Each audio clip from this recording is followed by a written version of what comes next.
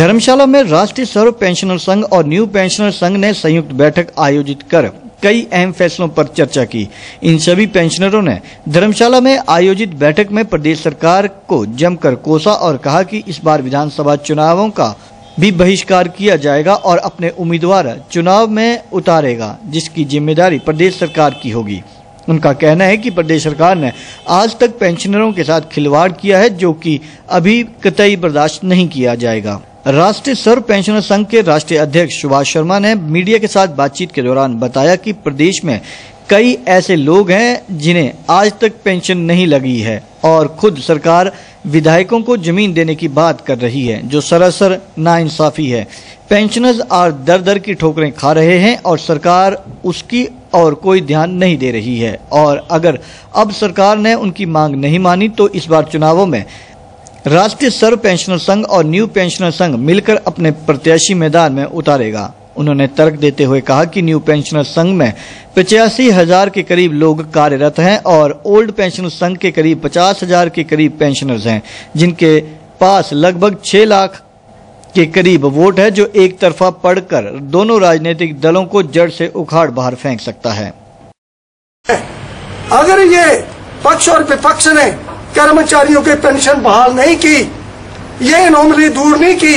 New pension scheme वालों को old pension scheme में नहीं लाए और कॉन्ट्रैक्ट सिस्टम खत्म नहीं किया और सोर्सिंग खत्म नहीं की।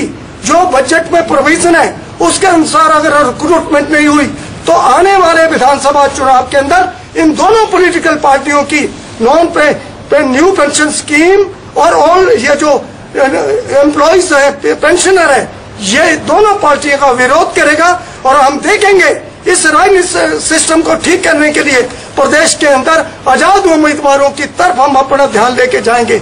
उनकी तरफ़ हम देखेंगे कि अच्छा सा एक विकल्प प्रदेश के अंदर दिया जाए ताकि ये जो बारियाँ पड़ी हुई है प्रदेश के अंदर, एक बार भाजपा और दूसरी बार कांग्रेस, जबकि प्रदेश की जनता के लिए कुछ नहीं, ये केवल सत्ता में आने के लिए चिंतित है। पिछले पाँच वर्ष में अगर भारतीय जनता पार्टी ने कोई आंदोलन किया है तो वो बता दे।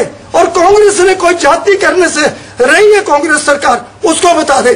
इन बुरे हालात के अंदर और क्या ऑप्शन रही है? या तो नोटा की ऑप्शन है, या तो फिर हम लोग अच्छे लोगों को ढूंढे और उनको कहें कि नहीं, ये दोनों पार्टियों का सिस्टम गलत है और आप आइए, आप हम, आपको हिमाचल का कर्मचारी और पेंशनर न्यू पेंशन स्कीम के जो पचास हज़ार, पचासी हज़ार जो यंग लड़के हैं, वो उनको विधानसभा पहुँचाने का प्रयास करेंगे और अगली विधानसभा में जो है इंडिपेंडेंस जो है, वो सरकार बनाएँगे।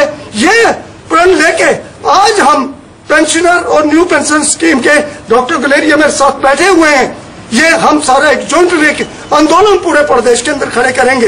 ये अब सरकार और विपक्ष दोनों को निर्णय करना है। कि उन्होंने कर्मचारी और पेंशन से भेदभाव करना है या हमारे से टकराव लेना है ये निर्णय कांग्रेस और बीजेपी अब अपने आप कर लें।